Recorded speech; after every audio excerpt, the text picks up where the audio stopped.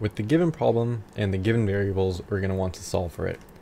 And what we're essentially solving for is the worst case fall time in picoseconds for a two input NOR gate if we're given the rest of these variables.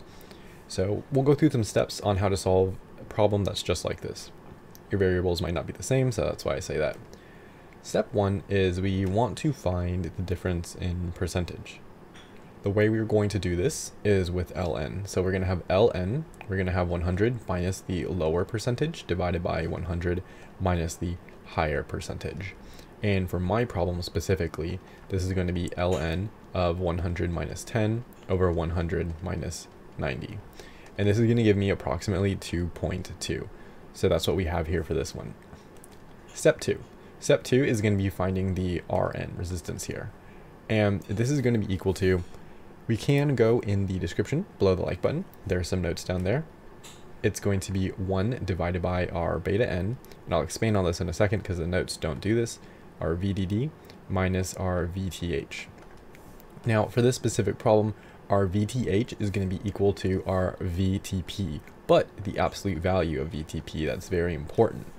And our beta n is also going to be needed to expanded because we don't have a beta n here. Beta n is going to be equal to our k prime n times our w over ln. And if it's p, you just switch the subscripts. And for this specific problem, that's going to give me a resistance here, an Rn, equal to 1.37 times 10 to the 3 ohms. That's resistance. Now, step 3. We're almost done.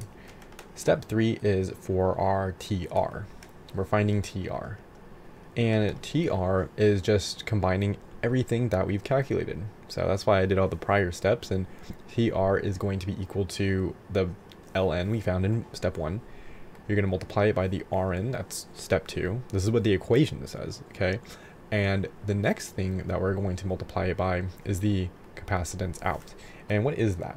Well, the capacitance out, and we'll do this in gray, is given to us, the capacitance on the output of this logic gate is 43 femtofarads. So for this problem, we are going to have 2.2 times a 1.37 times e to the third, and then we're going to have our 43 and then a e to the negative 15 because that is femtofarads. Now this is going to give me a TR of approximately 1.3 and then e to the negative 10. Now this would be our answer, but it's asking us for us in picoseconds. So in picoseconds, one pico is 10 to the negative 12. Once we do all this out, we're going to get 1.3 and then e to the 2, right? And then from this, we just move 2 over, and this is going to give us 130. And so the answer for this problem is going to be 130. That's how we would go about solving for it, and I hope it helped.